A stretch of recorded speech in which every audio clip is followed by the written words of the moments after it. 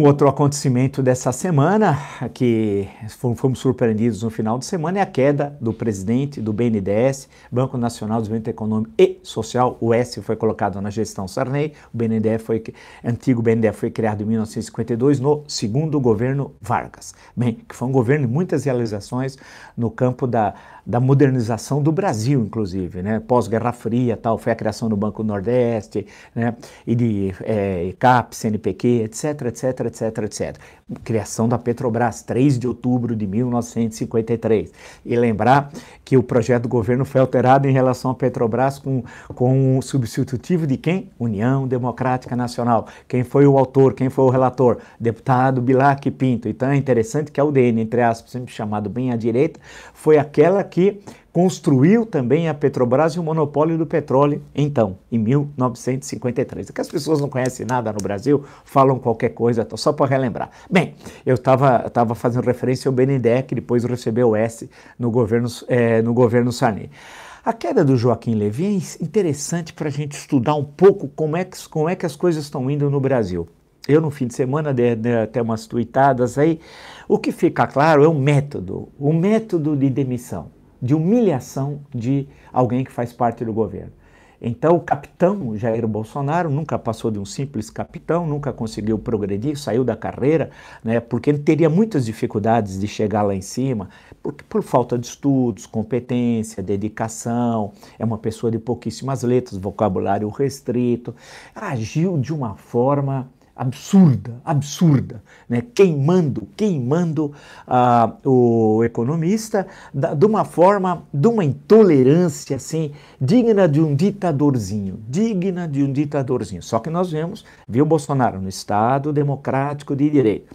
E um metro foi extremamente lamentável, né? dizendo ou você demite um diretor ou eu nem falo com Guedes e demito você tal. A única atitude, e foi o que ocorreu, o Levi é, pediu a, o, o seu boné e foi embora o Joaquim Levi e tal. O Bolsonaro, interessante, como é que ele pode se meter no BNDES quando ele diz que não entende nada de economia? Não é verdade? Não disse isso durante a campanha, disse para mim a 22 de maio de 2017. Primeira pergunta que eu fiz para ele naquele dia, foram 40 minutos de conversa, é sobre setores primário, secundário e terciário. Ele não respondeu nada porque ele nem sabe quais são os setores primário, secundário e terciário da economia. E foi um desastre. Né? Então, se ele não entende nada na economia, como é que ele pode colocar o seu dedo no BNDES e, e opinar sobre a designação de um diretor para uma área que também ele desconhece. Na verdade, eu tenho absoluta certeza, absoluta certeza, né, que ele não sabe as funções ah, é, que cabem ao Banco Nacional de Desenvolvimento Econômico e Social. Ele não sabe. Ele não sabe, porque ele é preguiçoso. Ele é preguiçoso. Né? Ele é uma pessoa preguiçosa, não gosta de estudar, de ler, é, não tem disciplina, apesar de ter permanecido um pequeno tempo no Exército, a maior parte da sua vida é como político, 30 anos, e não fez durante 30 anos nada dois anos no Rio, 28 em Brasília. Não relatou um projeto, um projeto. Ele é o melhor exemplo da velha política e da preguiça. Ele é um Macunaíma, quase que um Macunaíma, né? Sabe aquele, ai que preguiça, o Macunaíma é o clássico do Mário de Andrade. Ele é uma espécie de Macunaíma da política brasileira atual. Ele é um, um ótimo exemplo, é o nosso Macunaíma, triste Macunaíma.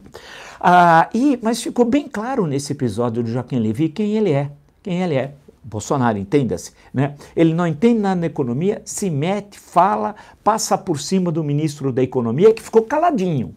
Por sinal, o Guedes ficou, caladinho. E no final de semana eu já disse, e já comecei, pô, com tanto tempo de estudo de história, de escrever mais de 30 livros, conheço história política brasileira, está na cara que o Paulo Guedes está louco para sair do governo está louco para sair do governo. Estagnação econômica, nós vemos uma estagnação terrível. O Brasil deve crescer 0,5, 0,6. O crescimento demográfico vai ser zero, que é muito baixo hoje no Brasil, deve ser 0,7, 0,8, em torno disso. O crescimento do PIB vai ser inferior ao crescimento demográfico. É uma tragédia. A gestão é um horror. Paulo Guedes, o homem que sabia javanês, né, vírgula, né, como eu escrevi outro dia, está é, tá mostrando que não conhece a visão macro da economia.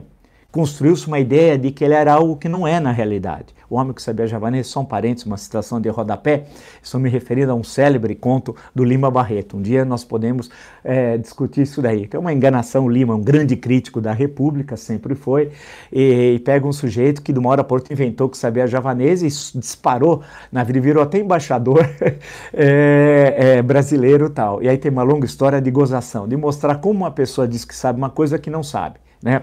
Ah, e o Paulo Guedes mostrou, foi construído uma ideia que ele era um gênio da raça. Ele nunca escreveu um livro, um ensaio, um artigo, nunca participou em 30 anos do debate político econômico no Brasil. Em três décadas. Não tem nada, zero. Ele é um vazio. Bem, ele é um operador do mercado financeiro.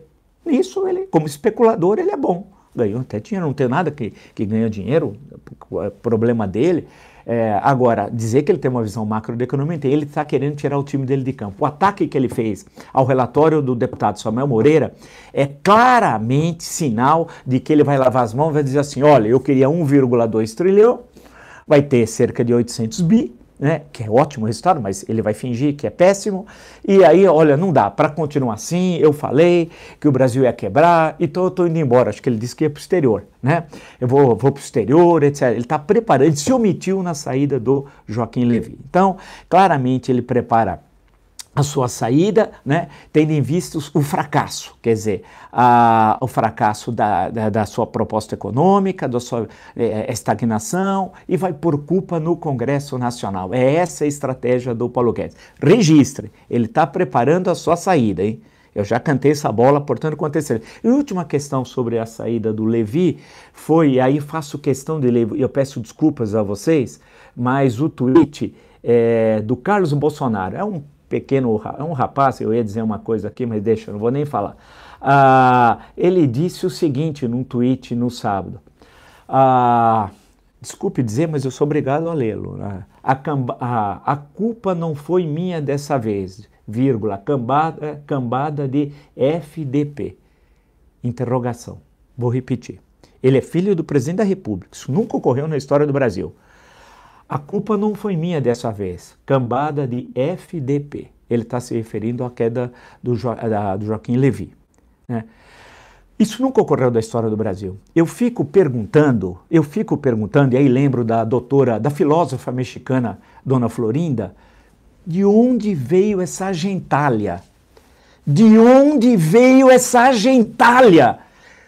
De onde veio essa gentalha? Nós nunca tivemos isso no Brasil. Você é mais novo, não pense que o Brasil foi assim. Não acredite nisso. Um cidadão, filho de presidente da República, é vereador no Rio de Janeiro.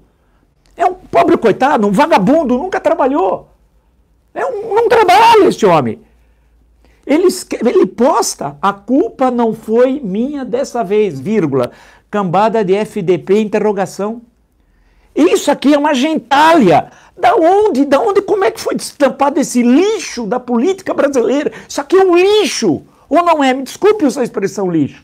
Me desculpem. Mas é um lixo. Carlos Bolsonaro é produto da mediocridade política atual. E pior, orientador do pai.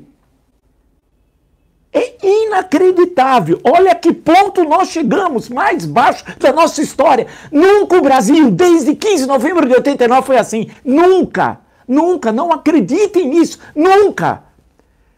É o pessoal, é uma gentalha, é uma gentalha que não sei de onde veio. Como é possível pessoa desse nível Ser vereador, e pior que varia uma comissão de ética mais no Rio de Janeiro, esperar algo daquela Câmara Municipal, né? Seria doce ilusão, isso não vai ocorrer nunca, né? Mas ao menos nosso, como brasileiros de bem, né? Esse sujeito aqui, esse Carlos Bolsonaro, que é um psicopata, um desequilibrado, né? Que não sabe nada, não sabe nem escrever, a gente tem de interpretar os Twitter, tem de interpretar. Porque as tuitadas são, ele escreve numa língua aparentada ao português. Então chega, né? Gente não aguenta mais essas pessoas. Mas logo, espero, politicamente, sempre politicamente, essa, essa página vai ser virada na nossa história. Desculpe ter de ler uma, uma coisa nojenta dessa, eu não queria dizer nojento também, peço desculpas, mas é o que o sujeito postou numa rede social, que por sinal deixa isso, né? Essa rede social deveria retirar comentários desse tipo. Bem,